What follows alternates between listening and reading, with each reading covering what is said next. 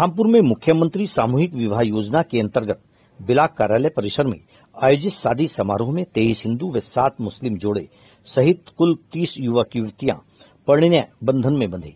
मुख्य अतिथि विधायक अशोक राणा ने नव दंपति को विवाह प्रमाण पत्र व उपहार सामग्री भेंट कर उनके सुखद वैवाहिक जीवन की कामना की। बिलाक परिसर में मुख्यमंत्री सामूहिक विवाह योजना के अंतर्गत पंजीकृत धामपुर तथा स्योहारा ब्लॉक क्षेत्र से तीस जोड़े विवाह कराने हेतु समारोह में पहुँचे। हरिद्वार शांति कुंज से पुजारी संजय शर्मा के मंत्रोच्चारण के बीच हिंदुओं के तेईस जोड़ों की विधि विधान से शादी कराई गई। उधर मुस्लिम समाज के धर्मगुरु ने उक्त कार्यक्रम में कुल सात मुस्लिम जोड़ों का निकाह कराया। इस दौरान विधायक अशोक राणा ने सभी नवविवाहित जोड़ों को आशीर्वाद देते हुए मुख्यमंत्री की सामूहिक विवाह योजना सहित अन्य योजनाओं का भी विस्तार से प्रकाश डाला। उन्होंने सरकार द्वारा चलाई जा रही योजनाओं का लाभ उठाने का आह्वान किया।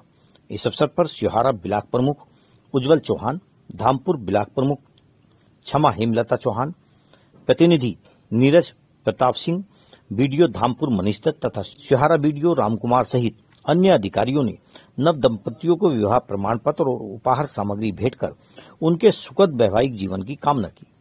वीडियो ने प्रदेश के मुख्यमंत्री योगी आदित्यनाथ द्वारा संचालित मुख्यमंत्री सामूहिक विवाह योजना की जानकारी दी। कार्यक्रम में प्रभारी ग्राम विकास अधिकारी हिमांशु चौहान, ग्राम विकास अधिकारी नीरज कुमार एवं धामपुर के अधिकारी व कर्मचारी मौजूद रहे। Bureau report.